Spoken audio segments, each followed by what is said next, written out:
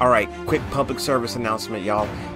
The Carolina Panthers are going to take down the Kansas City Chiefs this Sunday, November 24th. Remember, you heard it here first. That's right, and if you haven't guessed it, the Panthers are my team. Now, I have to show you how to add an item to a SharePoint list in under 60 seconds in order to keep wearing my hat. If I can't do it, if I don't beat the timer, then I gotta take it off. Let's see if I can keep it on. Stick around, y'all. I'm a SharePoint expert, play with data extra. Careful with my hands, cause I gotta use them for work. Yeah, I'm a big old nerd. I like maple syrup on my pancakes. I don't care what you heard. Okay, let's get that timer rolling. All right, first thing you're going to do is once you get to that list, you're going to find a little button that says add new item. You're going to click on that bad boy and you're going to get a form. It's going to ask you a bunch of questions. You're going to answer all those questions to the best of your ability. We're in a widget tracker, so this is going to be widget Juliet. Let's rock and roll. Status of it, requirements gathering, no attachments needed. Click on save. Ba-bam. You did it. I get to keep my hat on. I love it. Okay. All right, we're going to slow it down and take it step by step and share a couple more tips and tricks. Basically, it is super straightforward. You get presented with a new list. Uh, you just got to find the add new item button. Uh, we're talking just, you know, super simple. Click on add new item and then you're presented with the form. Now, this form is just gathering information about the widget. It's gathering metadata.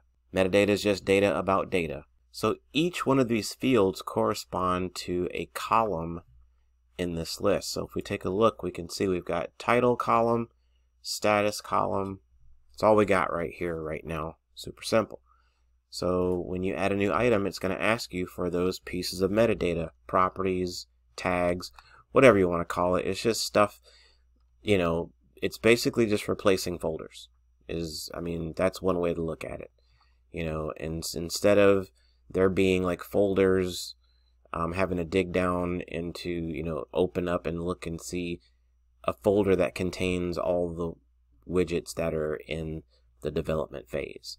So we're going to go widget uh, Lima. We'll go with the status requirements gathering and we click on save and now it's added to the list. So let's say you've got like just a whole bunch of these and, and you're thinking, you know what, um, that's really going to suck to have to go add new item, fill out the form, save, like that just seems like I don't really want to do that. Um, so you can edit in grid view. Basically, it's going to be like you're typing in Excel. Okay, so we need to add some more widgets here. We're in edit. So basically, you just go down to the bottom here, click on add new item. We'll call this widget kilo. We can tab over, choose the stage, click add new item, add another widget, Lima, tab, select the stage, and so on and so forth. So that way you're not having to click add new item each time. When you're all done, you can click on exit grid view However, maybe you didn't mean for this to be launched. So you can click undo, fix it, and exit grid view, and then your changes are saved. So there you go. Adding items to a list, super easy, take you less than 60 seconds. Thank you so much for watching.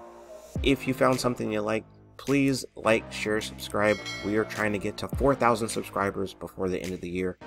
Thank you for your support. Hope this has been helpful. Remember, SharePoint rocks, and so do you. We'll see you next time. I'm a SharePoint expert, play with data extra. Careful with my hands, cause I gotta use them for work. Yeah, I'm a big old nerd. I like maple syrup on my pancakes. I don't care.